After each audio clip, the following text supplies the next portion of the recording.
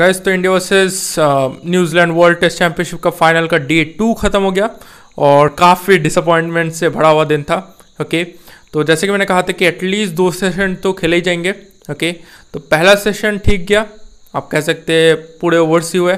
Second session भी ठीक ही गया साढ़े ओवर्स हुए। लेकिन थर्ड सेशन में बैड लाइट के कारण से तीन बार मैच को बंद करना पड़ा ओके तो प्लेयर्स ड्रेसिंग रूम में गए, फिर बाहर आए, फिर मतलब ऐसा चलता रहा ओके तो कह दे कि शुभमन गिल ने काफ़ी अच्छी शुरुआत दी, रोहित शर्मा ने भी दी। चितेश्वर पुजारा ज़्यादा कुछ कर नहीं पाए, ओके? लेकिन फिर विराट कोहली और अजिंक्य रहाने ने एकदम कमान संभाली, ओके? तो 146 पे तीन विकेट्स, अभी स्कोर है इंडिया का और इंडिया काफ़ी मज़बूत पोजीशन पे है।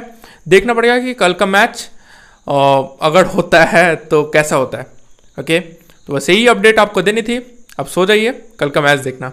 Thank you.